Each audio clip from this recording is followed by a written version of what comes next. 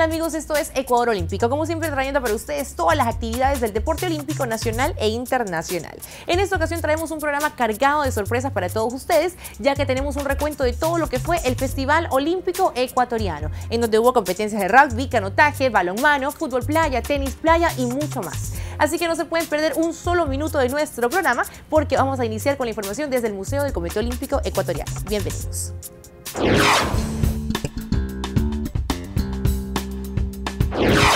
El festival arrancó con sus encuentros y la Arena Olímpica fue escenario de muchos de esos torneos, entre ellos balonmano. Veamos cómo se dio esta cita deportiva que reunió a varios atletas de nuestro país. Adelante.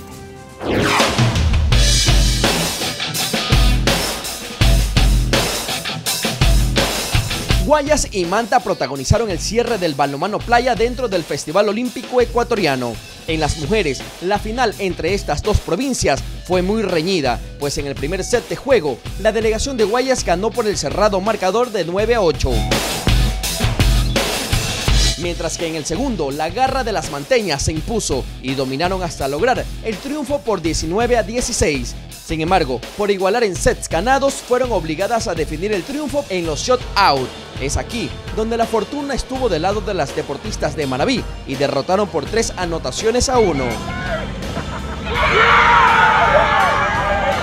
Sí, nos costó un poco, pero le dimos con todo, nos hemos entrenado mucho para esto y a la hora de quedar campeona, igual el otro equipo es muy fuerte y dimos todo, dimos todo, dejamos todo en la cancha, todo lo que pudimos para ganar, para conseguir este logro. Eh, fue muy bueno todos los que estamos participando aquí, la gente que ha venido a vernos, les agradecemos demasiado y gracias.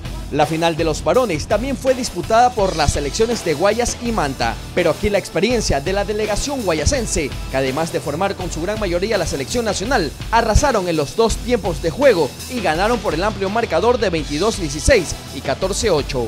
Sí, yo creo que la emoción de, de una final más, entonces la gente entró demasiado emocionada, pero a medida que fue pasando el tiempo supimos manejar esa situación y supimos sacarla adelante.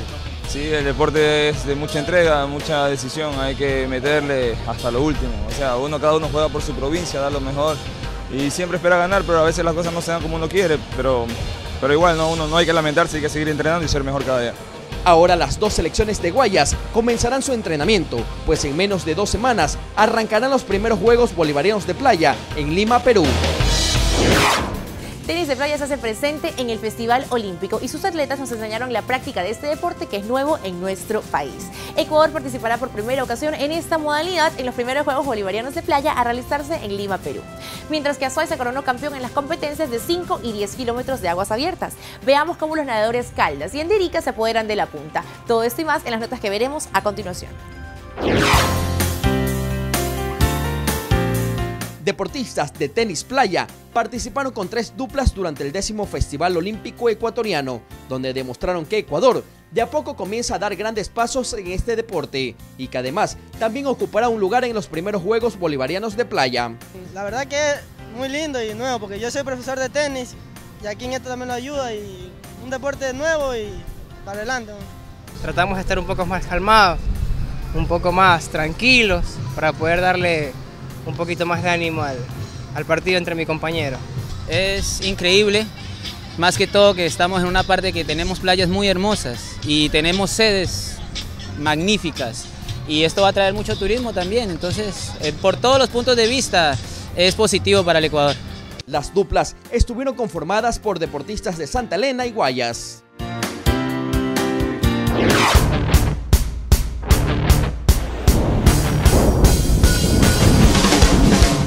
Los azuayos y nadadores de las pruebas de aguas abiertas Iván Enderique y Natalie Caldas demostraron durante el décimo Festival Olímpico Ecuatoriano por qué son los mejores del país y se coronaron como los campeones indiscutibles de los 5 y 10 kilómetros, pruebas realizadas en las aguas del balneario de Salinas.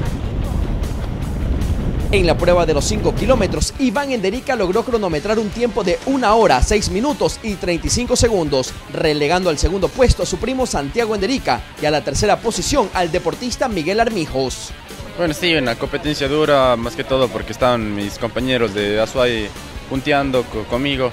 Y bueno, contenta por este resultado, mi primo ha quedado en segundo lugar y mi compañero de Azuay de equipo, Miguel Armijos, ha quedado en tercer lugar, entonces estamos ahí tomando la punta en los eventos de aguas abiertas, que es lo más importante.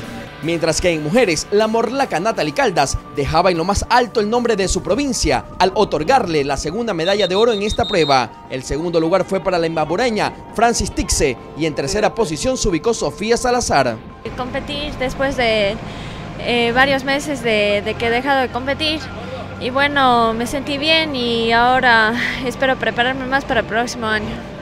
En la prueba de los 10 kilómetros, el resultado en el primer lugar se repetían. Y aquí, Iván Enderica logró un tiempo de 1 hora 34 minutos y 41 segundos. El final estuvo muy cerrado porque su primo Santiago Enderica logró un tiempo de 1 hora 34 minutos y 42 segundos. Y en tercera posición dejaron a Miguel Armijos. Me lleva la victoria en los 5, en los 10 kilómetros de hora.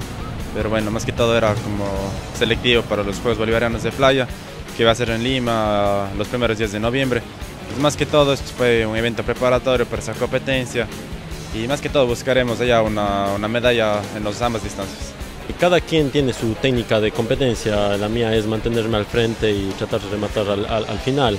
Eh, mi primo estuve nadando eh, de mano a mano con él hasta, hasta, hasta faltando 50 metros, 100 metros. Y la diferencia fue solo de un segundo, así que eso da las pautas a que estuvo bien reñida la competencia y a la final los dos estaremos este, representando al Ecuador en los bolivarianos de playa en Perú de la mejor forma. En la división femenina, Natalie Caldas no daba tregua a sus rivales y dominaba la prueba de principio a fin, pues su experiencia adquirida a lo largo de los años la han llevado a un nivel muy alto en su carrera deportiva. En segundo lugar llegó Francis Tixe y en tercera posición Estefanía Aguilar. Eh, sí, prepararme eh, para las dos competencias que va a haber en, en los Juegos Bolivarianos en Lima y para, eh, para estar entre los primeros lugares allá. El presidente de la Federación Ecuatoriana de Natación, el capitán Jorge Delgado Panchana, enfatizó en lo importante de contar con nuevos talentos para la natación y dio a conocer los nombres de los clasificados para los primeros Juegos Bolivarianos de Playa a realizarse en Lima, Perú durante la primera quincena de noviembre. Bueno, ha sido una buena experiencia. Eh, volvemos, hay gente nueva, muchachos nuevos que están saliendo, lo cual es importante. Necesitamos tener pues el recambio para los eh, nadadores que ya tenemos, ¿no? Eh, eso ha sido el, balance positivo, tenemos gente nueva. Para ampliar esta información, no dejen de visitar nuestro sitio web www.coe.org.es. Es hora de hacer una pausa, pero no se despeden de Ecuador Olímpico porque enseguida regresamos con mucho más de lo que fue el Festival Olímpico Ecuatoriano. Ya regresamos.